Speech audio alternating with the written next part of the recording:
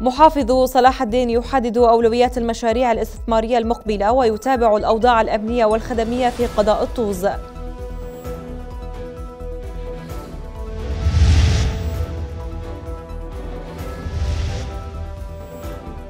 تكريت تشاطر سامراء أزمة الغاز والسواق يتهمون المحطات تهريب حصصهم والضلوعية محطة استراحة جديدة لطريق مرسيدس بنز.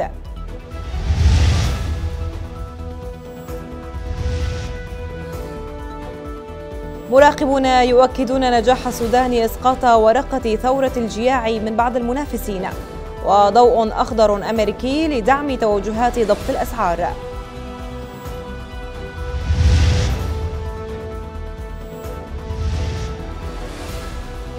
ووزير الخارجية الإيراني في بغداد بوساطة حوار مع الرياض وواشنطن. وطلاب كليات الطب العراقيين يتقدمون على زملائهم العرب.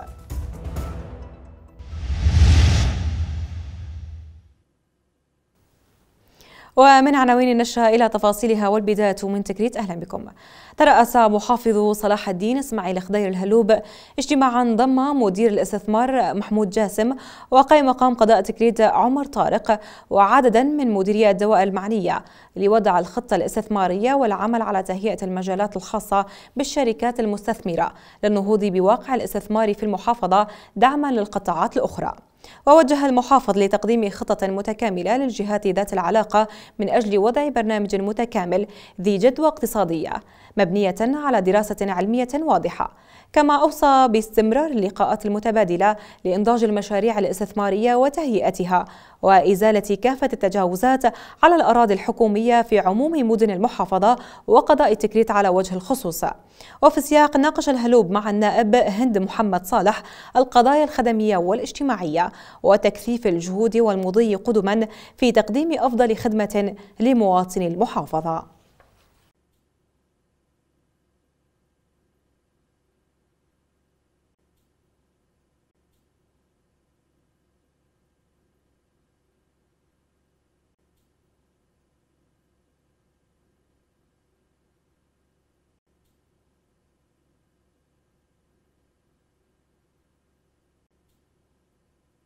والتقى محافظ صلاح الدين إسماعيل الهلوب بقائم مقام قضاء الطوز حسن زين العابدين والوفد المرافق له وعدد من مديري الدواء الخدمية.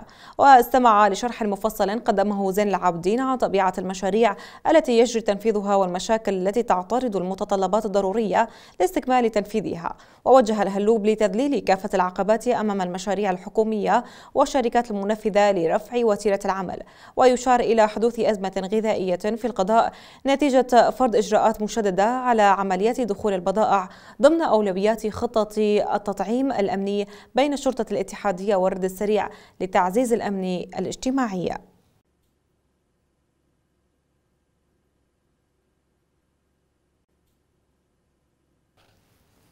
وفي ذات المهمة التقى كوا محمد رشيد مستشار محافظ صلاح الدين للشؤون الأمنية والعسكرية برفقته مدير مكافحة المخدرات والمؤثرات العقلية في صلاح الدين العميد حسين علي كردي خلال زيارته لقسم مخدرات الطوز وعدد من مسؤولي سيطرات لواء الرد السريع في القضاء لبحث سبل التعاون المشترك بين أجهزة أمن الدولة في إنجاز المهام المكلفة بها ضمن قاطع المسؤولية. كما ألتقى رشيد بمدير دائرة مكافحة مخدرات محافظة كركوك. وتم الاتفاق على تنسيق العمل وتقوية أواصر التعاون بين الدائرتين بما يسهم في تذليل المعوقات وتأدية الواجبات على أفضل شكل.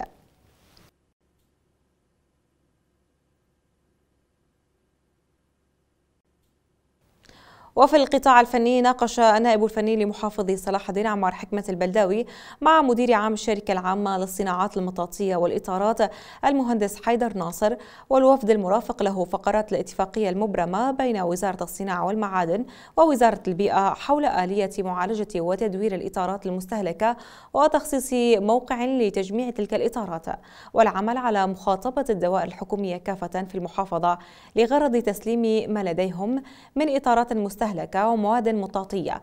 البلداوي أبدى تعاون حكومة المحافظة في الأمر كونها تشكل خطرا بيئيا.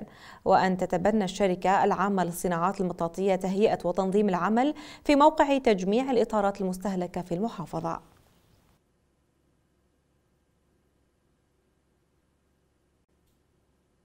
اليوم زيارتنا إلى محافظة صلاح الدين شرفنا بلقاء السيد نائب المحافظ الموضوع اللي جاي من اجله إحنا إنه آه، فيما يخص موضوع الإطارات المستهلكة انشاء آه، مركز لتجميع هذه الإطارات وتدويرها تنفيذا لقرار مجلس الوزراء للمصادقة على الاتفاقية الموقعة بين وزارة الصناعة ووزارة البيئة اللي تتضمن إنه إنشاء مراكز لتجميع الإطارات المستهلكة في جميع المحافظات والتخلص منها من خلال التدوير. هذه الإطارات تعتبر من المواد النفايات الصعبة التحلل يحتاج إلى إجراءات لغرض التخلص منها. وإن شاء الله إحنا اليوم كان لقائنا مثمر ويا السيد النائب. راح تكون متابعات مستمرة مع المحافظة لغرض إنشاء هذا المركز وراح يكون تعميم إلى دوائر المحافظة بأن تكون تنقل الإطارات اللي لديها لهذا المركز وإحنا نستمر بعملية التدوير ونقل هذه المواد. وفي ملف مهم التقى المتحدث الرسمي باسم كتلة الصادقون النيابية ونائب لجنة التخطيط الاستراتيجي والخدمة الاتحادية محمد البلداوي رئيس الوزراء محمد شيع السوداني. وناقش اللقاء في استكمال متطلبات الإدراج للمشاريع الخاصة لمشروع إنشاء الطريق الرئيسي الرابط ما بين محافظة بغداد وصلاح الدين والمحافظات الشمالية. وشدد البلداوي حسب بيان لمكتبه خلال اللقاء على المواضيع التي تتعلق بالأمن والصحة والأبنية المدرسية وقطاع الكهرباء وتقديم الخدمات البلدية والبنى التحتية في بغداد والمحافظات. البلداوي أكد للسودان أهمية رسم خطة تعاون استراتيجي لمعالجة المشاكل التي تخص المدخل الشمالي وتقدم عجلة المشاريع في جميع المحافظات.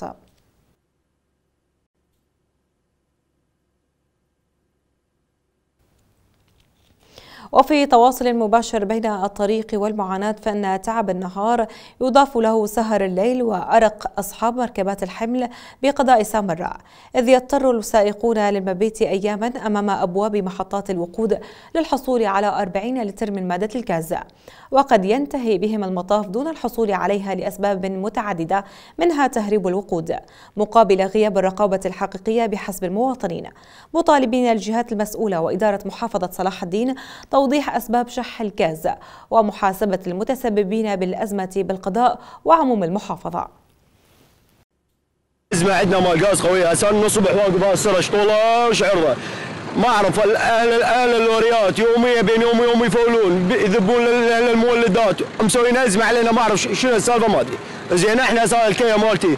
40 لتر وكل أسبوعين يلا أفول. يوميا ما أقدر أفول. يوميا يقولون 40 لتر ماكو 40 لتر. لين أنا أجي ألزم سيرة مال حق هسه صار لي من 8 واقف لما اوصل هسه يقولوا لي خلص الغاز. زين وأرجع النوم. زين أنا شلون أشتغل؟ شلون شلون أعيش؟ شلون أعيش جوالي؟ والله ما أعرف. زين.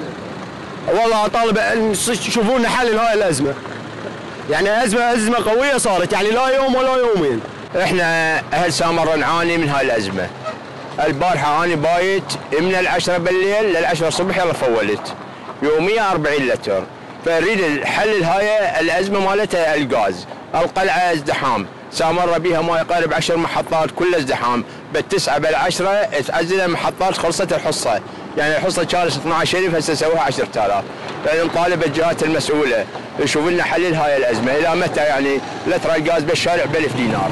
ب 1000 هسه حاليا. وإحنا أصحاب عوائل وأصحاب عمل.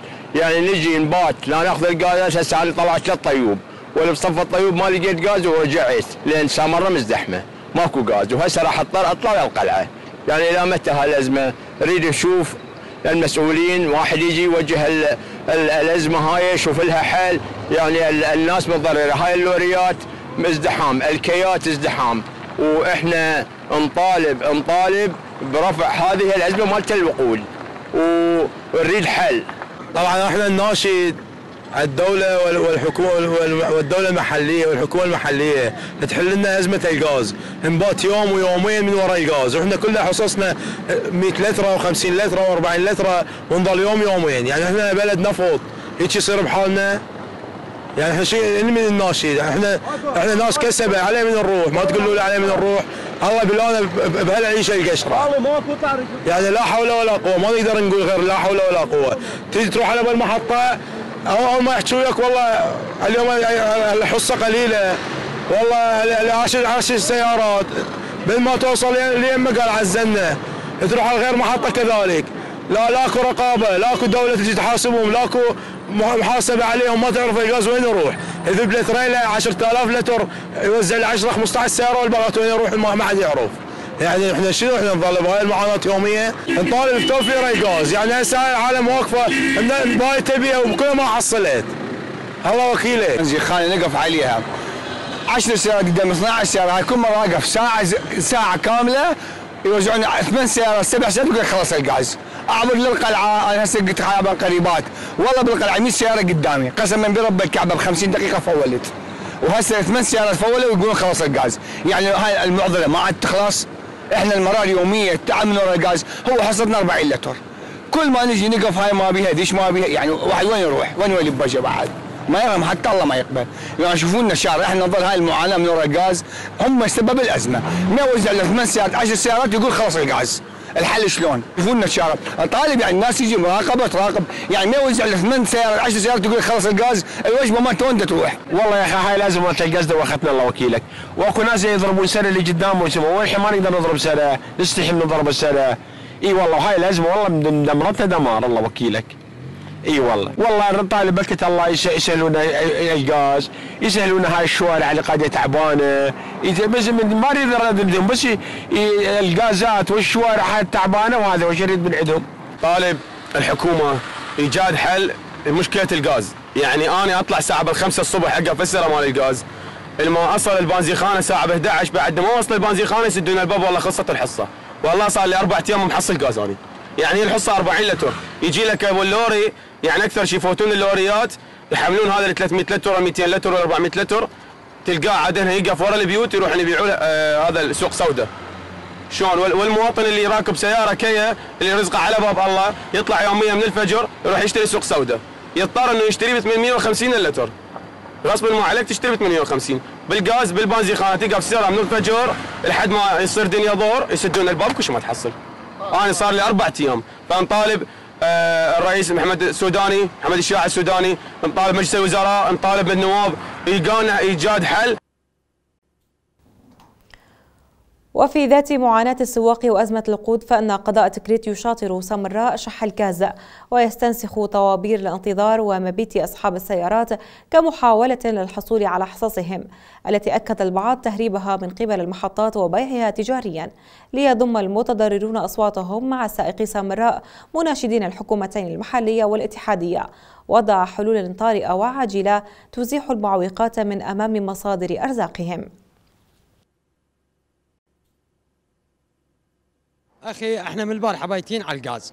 بايتين من الساعة 10 الصبح لحد الآن يعني ما حصلنا غاز. هسه طبانا على المدير؟ انترنت ماكو. باقي المحطات كلها توزع. بس هاي ما بيها فتح الفتوح غاز. يعني وجا يجي من الموصل من من كركوك من أي محافظة يجي يفول من هنا. إحنا نطالب من مدير التوزيع يسوي لنا لو كابانات صلاح الدين لو يسوي لنا آه، على بطاقة السكن. يعني ما ظل حل بها يعني انترنت ماكو فرد نوب. يعني نروح عليه هسه. انترنت بكل المحطات موجود بس بيها ماكو. ما أعرف غاز ماكو. آه انترنت ماكو. ما ما حد ينطينا النتيجة يعني. ما حد يوصل لنا النتيجة شنو هي. أستاذ من البارح الساعة بالثنتين لحد الآن ما محصلين. لحد الآن ولا سيارة دخلوا. والسرع كل ما نروح لهم يقول شبكة مال الانترنت ماكو. زين باقي المحطات شلون جاي تدير غاز؟ إذا شبكة هم ما عندهم.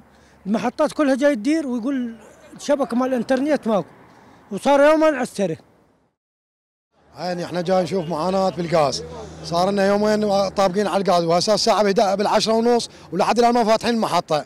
وجاي نشوف معاناة مو طبيعية هنا على الغاز ومنتظرين حيل الله شاهد. ذاك اليوم ثلاث أيام أنا طابق على السريع على الغاز. نروح للمحطات الأهلية يوزع لنا 3000 يسد المحطة ويبيعهم بالليل تجاري. نجي للحكومية الحكومية هسه الساعة بالعشرة ونص ما مفتوحة لحد الآن. واقف من البارحة الله شاهد. هاي سيارتي من البارحة واقف. من البارحة بالثنتين الظهر. ولحد الآن. مو مفتوحة وموجود ما حصل. نروح للأهليات يوزع لنا 3000 سيارتين ثلاثة وسداها ويبيعها بالليل تجاري. يعني هسه إحنا خال العزيز يعني معاناتنا. بالنسبة لنا أنا بالنسبة لي بايت الله شاهد من البارحة. وعندي السياره يعني من البارحة يعني المعاناة لحد الآن ولحد سبع العشرة ونص وما فتحت المحطة.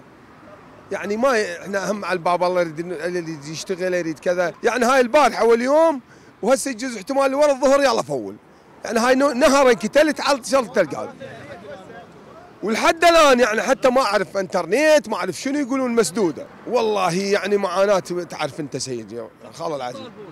والله انت تامل يعني شوية توفر المحطات تفتح انترنتات يوميا كنت يعني الحصة كنت بنفس النهار تفول هم ما يخالف. وضمن حدود لقمة العيش بات حلم توفير راتب ثابت ومستمر للكثير من الأسر معدومة الدخل المالي في قضاء بيجي بعيدا بسبب تأخير ظهور أسماء المتقدمين على شبكة الرعاية الاجتماعية. وأكد مواطنون أن دائرة الرعاية تؤثر بشكل سلبي كبير على حياة معسوري الحال وتتهم البعض عدم استحقاقهم وشمولهم. مطالبين المسؤولين إجراء كشف ميداني لمعرفة حقيقة أوضاعهم المعيشية. إحنا نشكو السيد المحافظ على مود الرعاية الاجتماعية. عندي ابني واحد معوق بصرع والاخ متزوج ويشتغل عماله. يجي كم نوبة قدمنا له؟ الاستماير ما طلعت. آخر شيء دزونا من القيم المقاميه على الرعاية الاجتماعية رحنا على سيد المدير. سيد المدير ولا دار لنا بال نحاكيه ولا كأنه بشر جاي يحكي وياه. انتظروا همتى ننتظر ننتظر سنة سنتين. يعني إحنا مو بشر. يعني هذا بيصارع الولد. ملقوح وهذا.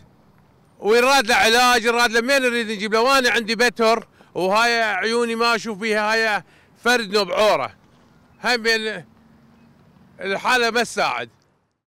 إحنا اليوم قدمنا معاملة صار شهرين ونص. يم أستاذ مازن بالبيجي. ولا حد يخابرنا ولا شيء يعني جماعة قبلنا لعتهم يمكن الله يعلم ما حد عرف إيش ماكو. خابروهم وسلموهم حد ذكايه وإحنا حاليا ولا حد خابرنا ولا هذا. نجي عليه يقول انتظروا. شنو مطالبكم؟ إحنا مطالبنا بس يريد يخابرنا يطلع علينا باحث يقولون على أساس إحنا الزناقيل. خلي يطلع علينا باحث يشوفنا. إحنا عمال. صار لنا اليوم نركض ورا شهرين وهاي حياتنا كلها قضينا عماله لا سياره عندنا لا شيء عندنا. والله لو عندنا شيء خلي يطلع على حق الدولة علينا. إحنا مكحول هسه. حاليا. نشتغل عمال بتكريت. يعني جاب لنا الرعاية مال التكريت ومال البيج وماكو كل فايدة. وفي الجانب المضيء من نتائج الاستقرار أقامت الفرق التطوعية فعاليات فريدة من نوعها وبأفكار لم تكن مألوفة في المجتمع العراقي. وقد أثار تجمع أصحاب سيارات المرسيدس بنز انتباه الكثيرين لجمالية الفعالية. التي جمعت عشاق هذا النوع من السيارات بمختلف موديلاته من عموم مدن العراق. وقد حط تجمع رحاله في قضاء الضلوعية كأحد محطات استراحاته أثناء جولته في البلاد وسط ترحيب كبير من أهالي القضاء مشيدين بتكاتف الشعب بمختلف طوائفه في أبسط المبادرات. مؤكدين أن وحدة الصف ستكون الغالب في نهاية المطاف. نتيجة للاستقرار الأمني الذي تشهده أغلب المحافظات العراقية. شجع ذلك إلى تنشيط المجامع الشبابية بابتكار لأنشطة مختلفة تعزز لدور التعايش والتواصل بين أبناء الشعب العراقي. مما شجع مجموعة ممن يرغبون باقتناء سيارات المرسيدس بنز ولمختلف موديلاتها إلى تفعيل جروبات للتواصل بينهم. واللقاء والتجوال بأغلب المحافظات العراقية ومنها محافظة صلاح الدين. ومن بين جولاتهم زيارة قضاء الضلوعية. حضرنا من محافظة ديالى إلى آه، قضاء الضلوعية محافظة صلاح الدين. هذه المحافظة التي لطالما حاول داعش اللعين السيطرة عليها. إحنا اليوم نريد نوصل رسالة انه الضلوعية وصلاح الدين منطقة آمنة وكنا اليوم في ضيافة آه، كافة عشائر أهالي الضلوعية. شكرا جزيلا لكل عشائر الضلوعية وشكرا لكل من آه، سعى آه، لخدمة هذه المحافظة وهذا القضاء. صلاح الدين آمنة بأهلها وناسها وطيبتها. نشكرهم على حسن الضيافة. إحنا اليوم والله يعني سعيدين جدا سعيدين إنه نكون في ضيافة أهلنا في قضاء الضلوعية. أصدقائنا وأخواننا من دياله حياهم الله وكل خطوة هلا. ألف هلا بيهم.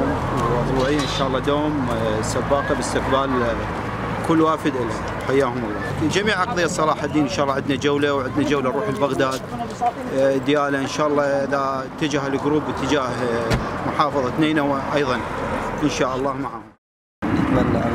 تزيد هذه التجمعات الحلوة. خدمة للتجمع هذه الألفة بين بين الناس وبين الشباب وبين هاي الناس اللي اللي تقتني هي سيارات انتيكه حلوة ونتمنى أن تتطور بعد أكثر. إن شاء الله. إن شاء الله الموفقيه للجميع. بين أعضاء الجروب الخاص بسيارات المرسيدس بنز عن امتنانهم أثناء جولاتهم في قضاء الضلوعية. لما قدموه ابنائها من حفاوة وترحاب واستقبال والتفاعل معهم لما يقتنوه من سيارات ومن ماركات عالمية. مباركين حملة الخدمات وخصوصا الطرق في القضاء والتي ستساهم بتخفيف المعاناة عن المواطنين وأصحاب المركبات كافة. منطقة الضلوعية من أنا من صغري سامع بيها إنه منطقة حلوة وبيئة وجو مرتب وهذا الشط الحلو. فسامع بيها من أنا صغير فحبيت أجي أشوفها بصراحة آه، جينا شفناها وإن شاء الله بعد هالمرة هاي جايين أكثر من مرة على الاستقبال أكثر من رائع اللي ما أقدر أوصفه بصراحة صراحة أنا متفاجئ سمعت إنه راح يتلقون إحدى الضلوعية وتفاجأت بصراحة بهيك استقبال. وإحنا أصلا جايتنا لهنايا من محافظة ديالى جايين لهنايا حتى نعكس الصورة اللي المفروض اللي قد تكون مأخوذة عن الضلوعية. ونريد نريد نوصل رسالة للعالم. عن الأمن والأمان اللي موجود بمحافظاتنا وخاصة بهيك مناطق. اليوم الحمد لله مثل ما تشوفون الشباب شرفونا عشائر ومحافظات مختلفة من بغداد وديالى وصلاح الدين وإن شاء الله هذه فاتحة خير أنه تكون آه، نداء أو دعوة للجروبات الباقية أنه هذه المحافظة أيضا تفتح على افاق الترحاب والضيافة في عموم العراق على هذه الجروبات مال.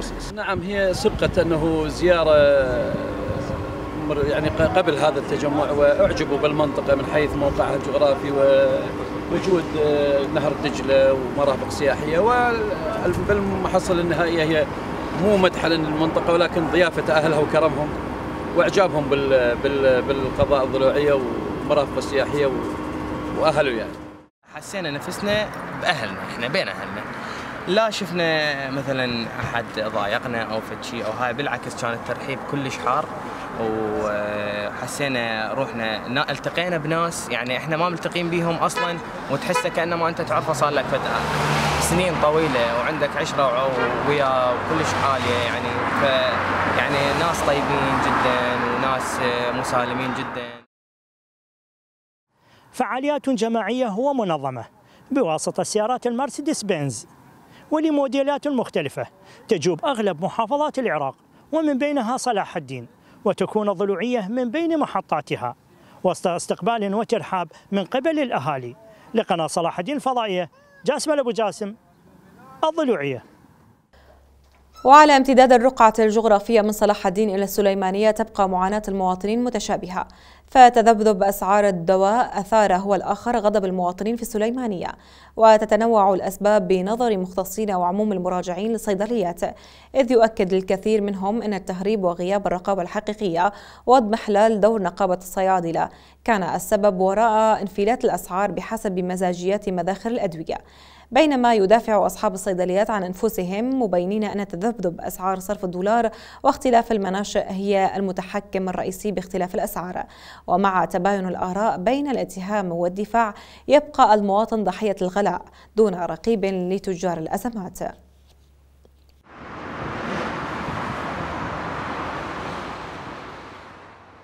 مع انتشار بيع شركات الأدوية وضعف الجانب الرقابي عليها. يشتكي أغلب المواطنين من ارتفاع أسعار الدواء وتفاوتها بين منطقة وأخرى. إذ تصل في بعض الصيدليات إلى ما يفوق ضعف أسعارها الطبيعية في صيدلية أخرى.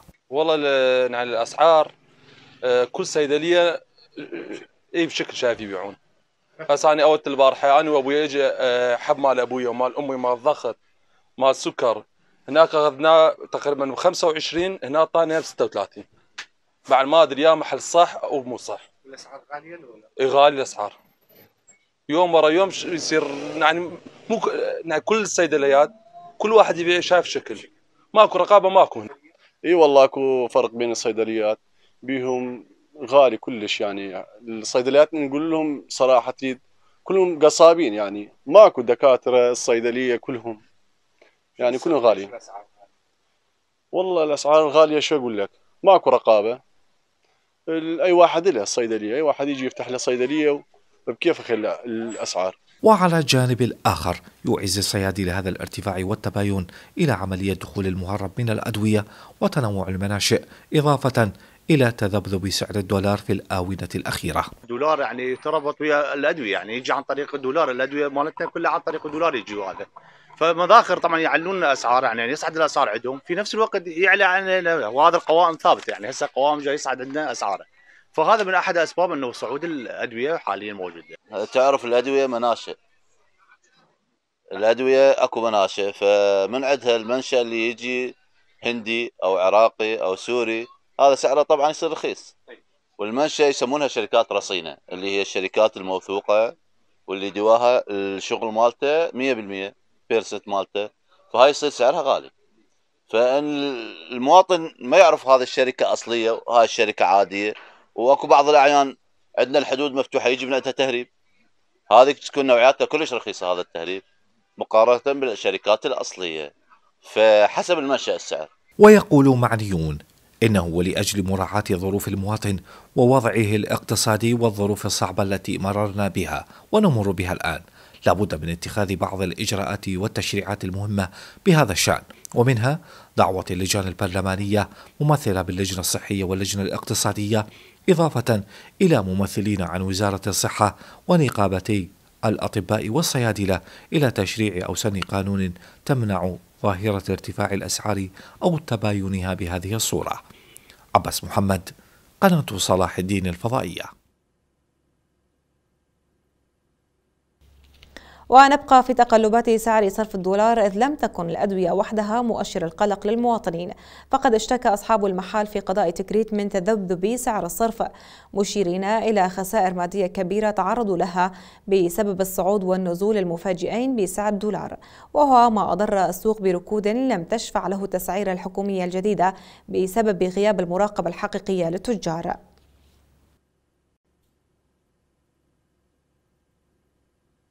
أول شيء الأسعار كان الدولار مرتفع ب 167 وإحنا بضاعتنا أخذناها من كان الدولار صاعد.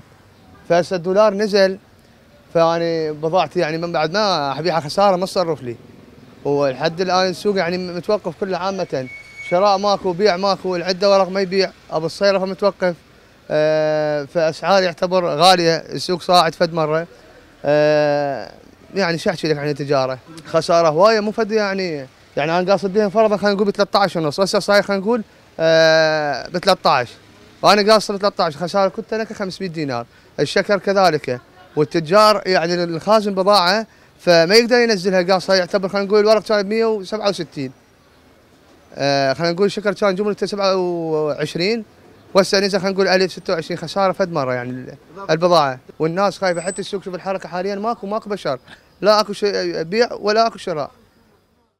إحنا نطالب باستقرار الدولار بالتوزيع للتجار الكبار حتى يمولونا أكثر بسعر زين وارخص حتى نستمر بالوضع. مو ثابت. مو ثابت لا أسعار غير غير ثابتة. فلازم ينزل الدولار بكافه المحافظات أو يستقر على سعر محدد.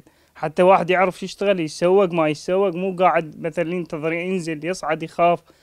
لا يخاف لا يصعد يخاف لا ينزل يتسوق بضاعة غالية وهكذا. بالنسبة للسوق اليوم إحنا اللي دا نعانيه بصراحة كل المواطنين اللي دا يتبضعون وأصحاب المحلات المفرد والجملة هم دا يتضايقون من هذا الموضوع. لأنه الدولار إحنا الحكومة العراقية بادرت إنه بنزول الدولار ومسعاها مشكور بس لحد الآن ماكو أي إجراء بالنسبة للصيرفات. أنا من اتوجه على الصيرفه وأقول له بيش السوق؟ يقول لي 154 هذا اليوم. يقول لي 154 أقول له عندك ورقة تصرف لي أريد اني أريد أشتري من عندك أجنبي. يقول لي ما عندي هسه حاليا بس حكي. ما ما قبضنا شيء ملموس. صراحة إحنا من يجي المواطن يتبضع من عندنا من المحلات مالتنا. مضطرين نبيع نفس الأسعار اللي من كان الدولار ب 120 ألف. نفس الأسعار. ما غيرنا شيء أحيانا أكو درازل ناخذها ب 11 وب 10 وب 12 ينباع ب 1000 نفس الشيء بالنسبة لهاي الحاجة. الف أما الأشياء الأخرى اللي أعلى مستوى بالشراء أنا اللي أدري به ومن خلال عملي وممارستي بالسوق دا أشوف أبو المحل الجملة دا يتضايق ودا يتأذى. ومحل المفرد كذلك والمواطن هو بالنتيجة هو اللي متأذي بالأكثرية يعني بالأغلبية. فإحنا نتمنى من حكومتنا إنه تهتم بهذا الأمر لأن الظاهر أكو في يعني جهات أعلى تسيطر على مستوى السوق.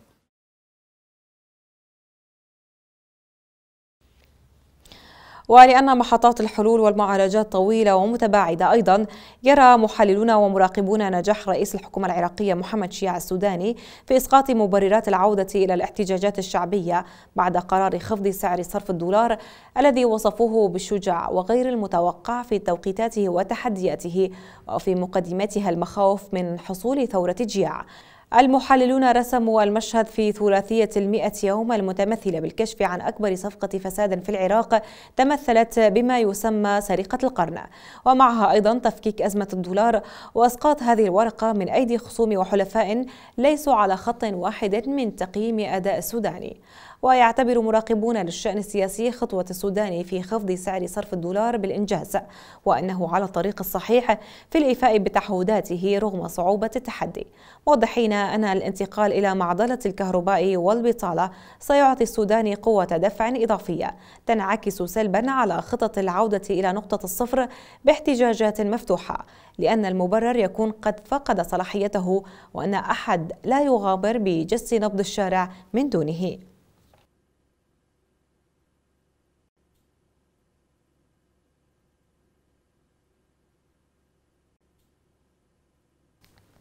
أكدت وزارة الخزانة الأمريكية استعدادها لتقديم الدعم المطلوب لجهود حكومة رئيس الوزراء محمد شيع السوداني فيما أعلن البنك المركزي العراقي إطلاق حزمة تسهيلات جديدة لاستقرار سعر الصرف. وجاء ذلك بعد اجتماعات لساعات طويلة عقدها وفد البنك المركزي العراقي مع نظيره الأمريكي ممثلا بالاحتياطي الفيدرالي والخزانة وغرفة التجارة الأمريكية. التي تضم مجموعة كبيرة من الشركات الأمريكية المختصة في مختلف المجالات حيث تم الاتفاق على العمل المشترك لمواجهة تحديات المنصة الإلكترونية للحوالات والنقد وبما يعزز التعاطي بمرونة مع الأزمات خلال هذه المرحلة. وهذا يتعلق بحسب المطلعين أولا على منح العراق فترة زمنية للتعاطي الإيجابي مع محددات المنصة الإلكترونية. طالما الاتفاق على منع التهريب وغسيل الأموال أصبح التزاما ثابتا. وأيضا التأكيد على مشاركة الشركات الأمريكية في الاستثمار وتعزيز وتكثيف التعاون في مختلف القطاعات انطلاقا من معرفة بغداد وواشنطن بأن الوقت ليس للمشاكل بل توسيع التعاون بمختلف القطاعات.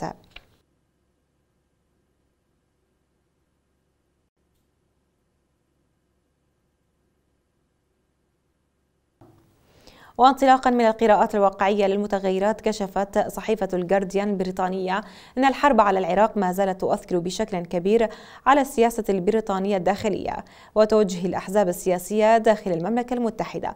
الصحيفة وفي تقرير بمناسبة ذكرى تظاهرات المليونية البريطانية الرافضة للحرب ضد العراق قالت أن الشعب البريطاني والذي خرج بأعداد مليونية في الخامس عشر من شباط عام 2003 أثبتوا أنهم كانوا على الجانب الصحيح من التاريخ. الجارديان وصفت الاحتجاجات بأنها أكبر تحرك بشري عام لأهداف سياسية على حد تعبيرها. مشددة أن الغضب الشعبي العالمي من تصرفات بريطانيا وأمريكا كان جميلا جدا ولا يزال حتى اليوم يعتبر نقطة تحول في السياسة البريطانية والعالمية بحسب قولها.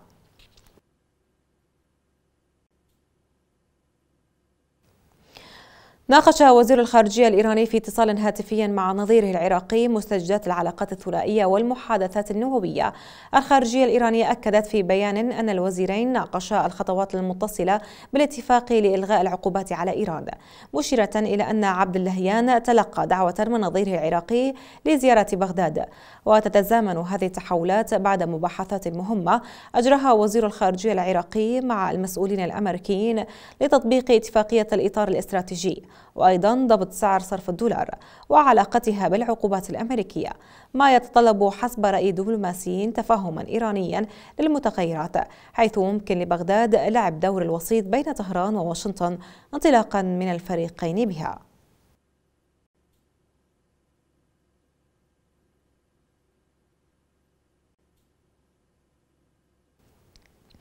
أعلنت بعثة الاتحاد الأوروبي لدى العراق أن بغداد ستحتضن اجتماعا دوليا بالتعاون مع مستشارية الأمن القومي الأسبوع الجاري بمناسبة الذكرى الأولى لليوم العالمي لمنع التطرف العنيف المؤدي إلى الإرهاب. بدوره أكد النائب الأول لرئيس مجلس النواب العراقي محسن المندلاوي أن المجلس داعم لفعاليات ثقافة التعايش والتسامح ونبذ التطرف والتي يجب أن تترسخ في أذهان الأجيال الجديدة من خلال المناهج التعليمية في مختلف مراحل. التعليم.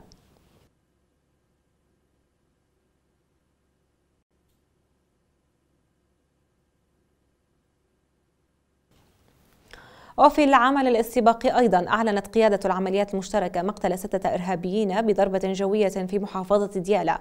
وقال نائب العمليات المشتركة الفريق الركن قيس المحمداوي أن خلية الاستهداف في القيادة وبمعلومات دقيقة من مديرية الاستخبارات العسكرية وبضربات جوية ناجحة. استطاعت قتل ستة إرهابيين في سد حمرين بقاطع ديالا وذكرت مديرية الاستخبارات العسكرية أنه بالتنسيق مع خلية الاستهداف التابعة لقيادة العمليات المشتركة نفذ صقور الجو بواسطة طائرات F-16 ضربات جوية ناجحة. أسفرت عن مقتل والي ديالا الإرهابي سامي موحان بزيغ. المكنى أبو عبد الرحمن واستهدفت أيضا خلالها أوكارا بداخلها عناصر من عصابات داعش الإرهابية في قاطع ديالى في بحيرة وسلسلة جبال حمرين.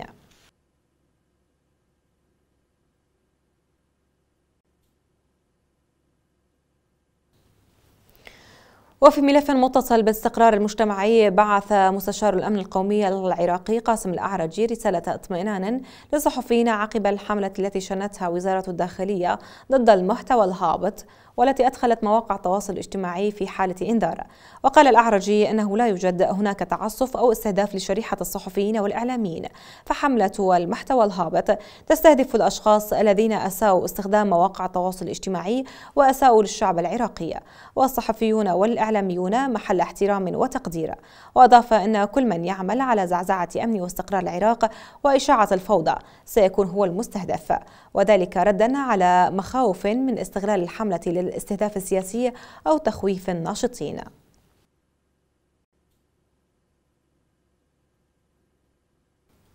وفي أساسيات تعزيز الاستقرار أكدت وزيرة الهجرة والمهجرين إيفان فائق جابرو مواصلة جميع الإجراءات اللازمة لطي ملف النزوح وإرجاع جميع النازحين لمناطق سكنهم الأصلية.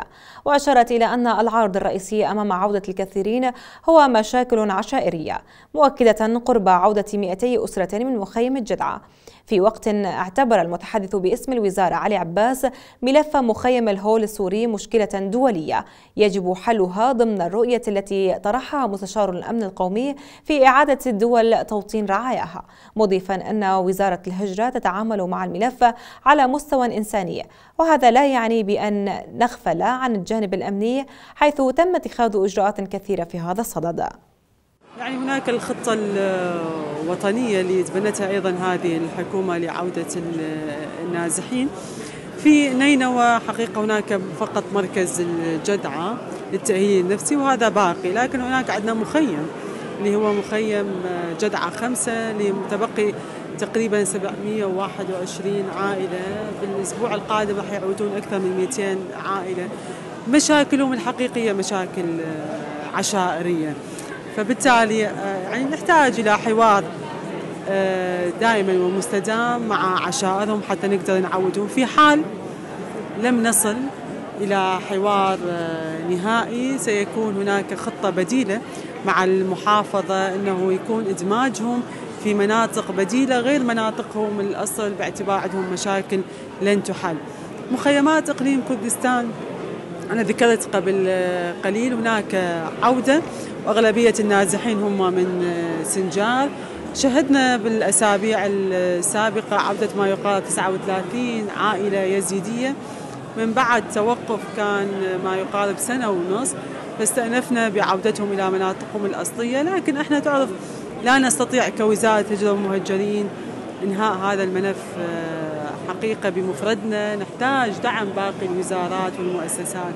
يعني نحتاج أنه اليوم تتوفر كل الخدمات الإنسانية في مناطق سنجار حتى يعودون المدارس المراكز الصحية دور السكن تكون معمرة بالكامل. خطوة رئيس الوزراء باستملاكهم الأراضي لأهالي اليزيدية في سنجار بعد توقف سنين هذا كان بحد ذاته خطوة إيجابية. عندنا مشاريع مع الهابيتايت وأيضا مع صندوق أعمار سنجار هو بناء وحدات سكنية. هذا راح يسرع من عودتهم. أيضا توفير الأمن المستتب في هذه المناطق مهم جدا لعودة النازحين. عندنا عندنا بعض المخيمات هي في سليمانية. أيضا بها مشاكل عشائرية تعمل الحكومة مع المستشارين ومع الحكومة المحلية. وأيضا نشهد عودة يومية يعني أنا ما أقدر أنطي تحديدا أنه متى راح ينتهي هذا الملف لكن الحكومة وبرنامجها تبنت أنه يتم إنهاء هذا الملف خلال ستة أشهر ونسعى إلى أن ينتهي إن شاء الله بهذه المدة اللي هي مذكورة في البرنامج الحكومي. لكن بعد يعني تضافر الجهود الكل مع وزارة الهجرة حتى نقدر ننهي هذا الملف بشكل نهائي. وشكرا جزيلا. وفي الجانب الاقتصادي من الاستقرار العراقي اجتمع وكيل وزارة النفط لشؤون التوزيع ليث الشاهر مع وفد حكومة إقليم كردستان الذي ضم عددا من المسؤولين. ووفقا لبيان صادر عن الوزارة فإن هذه الزيارة تأتي ضمن سلسلة لقاءات يجريها وفد الإقليم مع المسؤولين في وزارة النفط لبحث ومراجعة المواضيع ذات الشأن المشترك وخصوصا المشاكل العالقة بين المركز وكردستان في ملف النفط والطاقة. وأكدت وزارة النفط على التزامها إدارة الثروة الوطنية وتنميتها وتطويرها والحفاظ عليها وفقا للدستور والقوانين والتعليمات النافذة. وبما يعود بالفائدة لأبناء الشعب العراقي بجميع مكوناته فيما تؤكد حوارات سياسية قرب الاتفاق على تمرير قانون النفط والغاز واحتواء الخلافات بين بغداد وأربيل.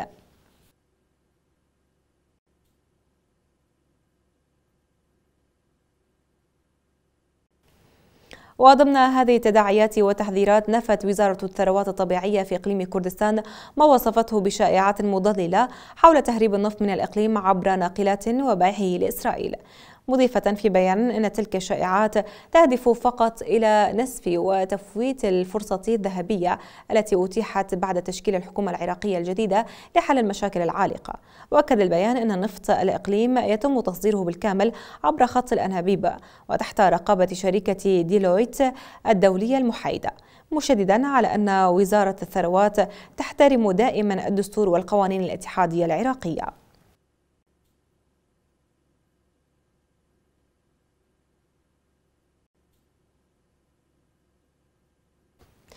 وعلى الجانب الآخر من تفاصيل الشأن العراقي تقفز إلى الواجهة الكفاءة الطبية المتراكمة قبل أن تؤخر عجلتها الأزمات. ومع ذلك لم تتوقف حيث أكد وزير الصحة صالح الحسناوي أن طلبة الطب من العراق حصدوا 54% من المراتب الأولى على صعيد الدول العربية. وذكر الحسناوي أنه سيتم تكريم الطلبة الأوائل الذين حصلوا على المراتب الأولى من الدول العربية كافة. وأن ما حققه طلبة العراق يعتبر تكريما للطبيب العراقي ودلالة على حجم جهد الطلبة وأساتذتهم. وأوضح أن العراق يسعى لتطوير الدراسات العليا بما فيها البورد العربي وستطرح مقترحات على المجلس الوزاري بهذا الخصوص فيما يؤكد أطباء عرب أنهم اكتسبوا خبرة كبيرة من تعلمهم الطب في الجامعات العراقية. بينما الطبيب العراقي يحظى بأهمية في المستشفيات والجامعات العربية والدولية.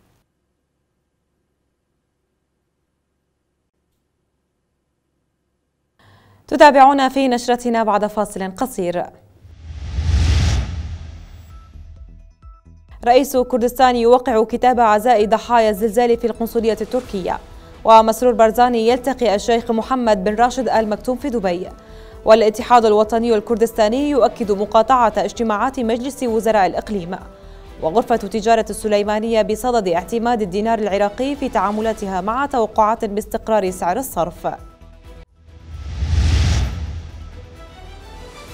وما يقرب من 32 ألف قتيل في زلزال تركيا وسوريا والحصيلة قد تتضاعف والسوريون يشكرون الأمم المتحدة على خذلانها لهم. والجيش الأوكراني يؤكد أنه صامد على طول خط الجبهة في دونتسك. واليابان تواجه مشكلة نقص اليد العاملة وشيخوخة المجتمع بالروبوتات.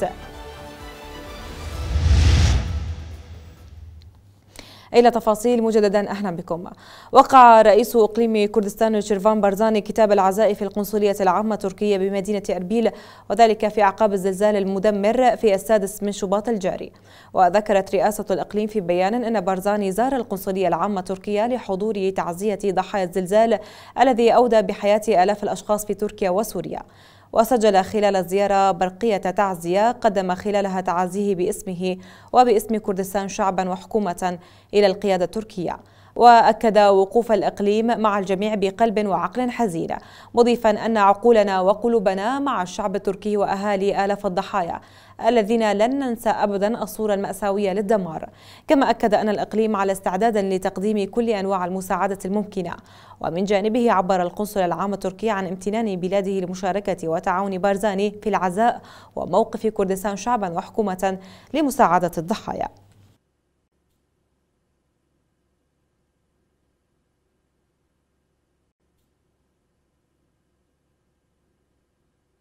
التقى رئيس حكومة إقليم كردستان مسرور بارزاني نائب رئيس دولة الإمارات رئيس مجلس الوزراء الشيخ محمد بن راشد المكتوم. ونشر بارزاني على صفحته في فيسبوك قائلا التقينا في مدينة دبي نائب رئيس دولة الإمارات رئيس مجلس الوزراء حاكم إمارة دبي الشيخ محمد بن راشد المكتوم. وأضاف وجرى في اللقاء الذي حضره ولي عهد دبي الشيخ حمدان بن محمد بن راشد المكتوم وعدد من كبار المسؤولين الإماراتيين. التباحث بشأن سبل تعزيز العلاقات بين كردستان والإمارات العربية المتحدة. وتابع شكرنا دولة الإمارات على دعمها المتواصل للإصلاحات التي تنفذها حكومة الإقليم ولا سيما في مجالي التجارة والاستثمار. وعبر الشيخ محمد بن راشد عن سعادته بزيارة وفد حكومة كردستان كما أعرب عن رغبته في توطيد آفاق العلاقات الثنائية على كافة الأصعدة.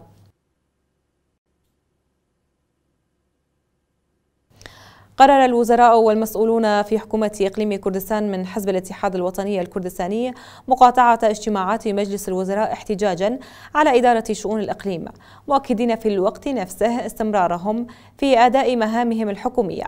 وقال المتحدث الرسمي باسم نائب رئيس حكومة الإقليم سمير هورامي خلال مؤتمر صحفي عقده في السليمانية. أن فريق الاتحاد الوطني في الكابينة التاسعة لحكومة كردستان قرر مقاطعة جميع اجتماعات مجلس الوزراء لكنه مستمر في تقديم الخدمات للمواطنين. وأضاف الفريق لديه ملاحظات وإشكالات حول إدارة الحكومة وخصوصا تلك المتعلقة بواقع محافظة السليمانية. والمناطق التابعة لها. كما أشار إلى أن الحزبين الرئيسيين في الإقليم الديمقراطي والاتحاد الوطني الكردستانيين عقدا اجتماعا لبحث وحل تلك المشكلات والملاحظات لكن حتى الآن لم تكن هناك أي انعكاسات لذلك الاجتماع على أرض الواقع.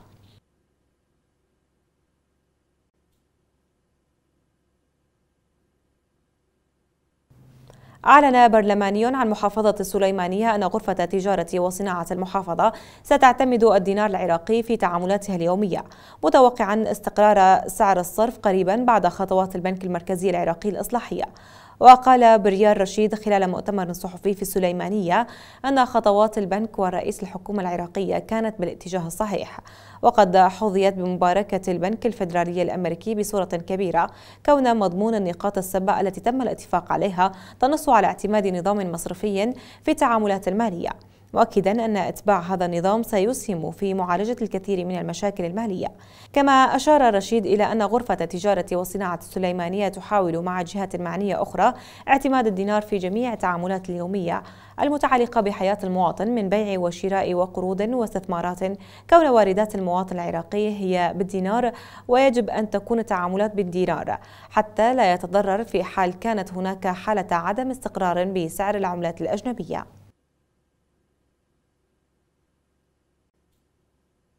تجاوزت حصيلة قتلى الزلزال الذي ضرب جنوب تركيا 25600 شخص وعدد المصابين نحو 100 ألف مع استمرار البحث عن ناجين بالرغم من تضاؤل الآمال في العثور عليهم. ورغم مرور نحو أسبوع على حدوث زلزال كهرمان مرعش المدمر فإن الهزات الارتدادية لا تزال مستمرة حيث أعلن المركز الأورو متوسطي لرصد الزلازل تسجيل 70 هزة أرضية في تركيا السبت الماضي تراوحت بين 3 و 4.7 درجات على مقياس بمقياس رختر ووعد الرئيس التركي رجب طيب أردوغان الانتهاء من رفع الأنقاض بأسرع وقت وبدء عملية إعادة أعمار المدن التي تضررت من الزلزال. وفي عمليات البحث عن أحياء تحت الركام أسهمت الكلبة المدربة سيلا في إنقاذ 12 شخصا. وقالت وزارة الدفاع التركية في بيان نشرته أن سيلا كلبة مدربة تابعة لكتيبة الإنقاذ من الكوارث الطبيعية أصيبت بجروح في قدميها بسبب قطع الزجاج والمعادن المتناثرة وخضعت للعلاج من قبل البيطريين المتطوعين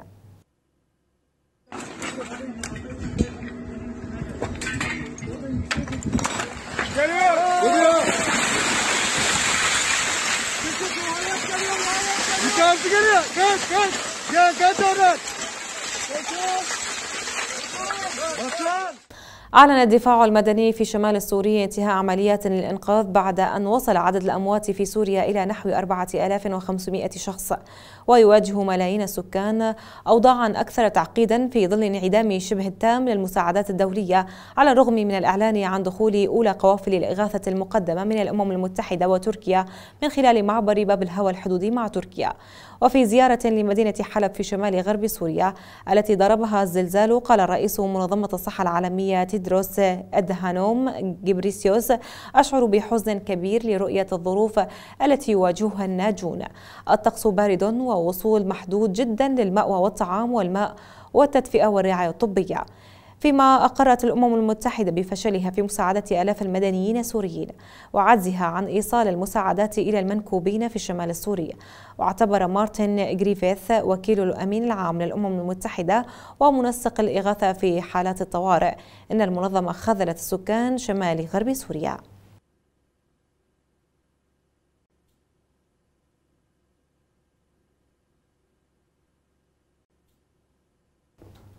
أعلنت وزارة الدفاع الأوكرانية أن القوات الروسية تصاعد من هجماتها على عدة محاور شرقية. وقال رئيس الأركان أن موسكو تنفذ نحو 50 هجوما يوميا مؤكدا أن الروس يتلقون خسائر فادحة كل يوم. كما قالت وزارة الدفاع البريطانية في آخر نشرة يومية لها أن روسيا من المحتمل أن تكون قد عانت من أعلى معدل للخسائر خلال الأسبوعين الماضيين منذ الأسبوع الأول للغزو. وأشارت إلى أن متوسط الخسائر البشرية للجيش الروسي خلال الأيام السبعة الماضية بلغ 824 في اليوم أي أكثر من أربعة أضعاف المعدل المبلغ عنه خلال الفترة من حزيران إلى تموز 2022 وأشارت إلى أن الجيش الأوكراني يعاني هو الأخير من استنزاف كبير لكنها لم تقدم أي أرقام بهذا الشأن. وقال قائد الجيش الأوكراني أن قواته تدافع عن البلاد على طول خط المواجهة في دونتسك بما في ذلك بلدة باخموط المحاصرة مع احتدام أعنف المعارك في مدينتي فوليدار ومارينكا.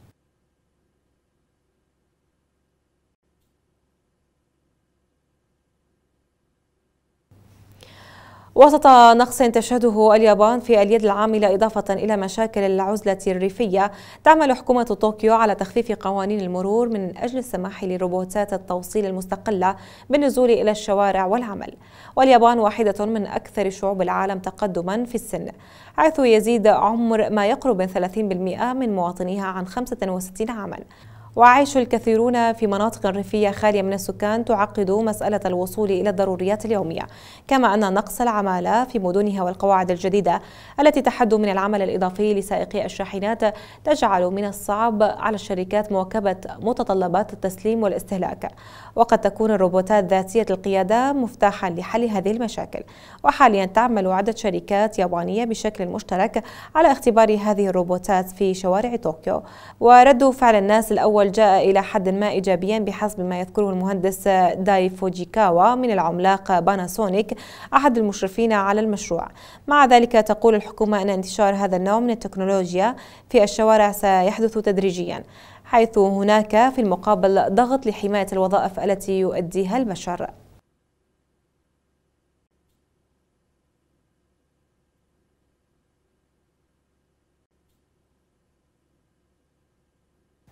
إلى تذكير بأبرز وأهم العناوين.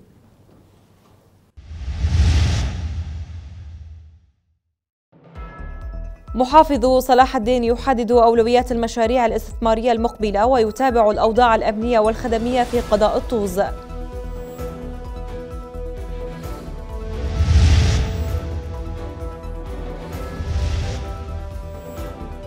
تكريت تشاطر سمراء أزمة الغاز والسواق يتهمون المحطات تهريب حصصهم وضلوعية محطة استراحة جديدة لطريق مرسيدس بنز.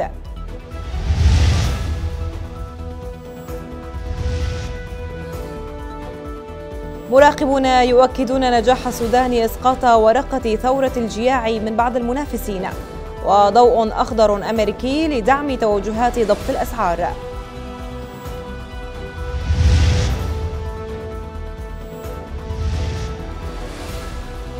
ووزير الخارجية الإيراني في بغداد بوساطة حوار مع الرياض وواشنطن. وطلاب كليات الطب العراقيين يتقدمون على زملائهم العرب.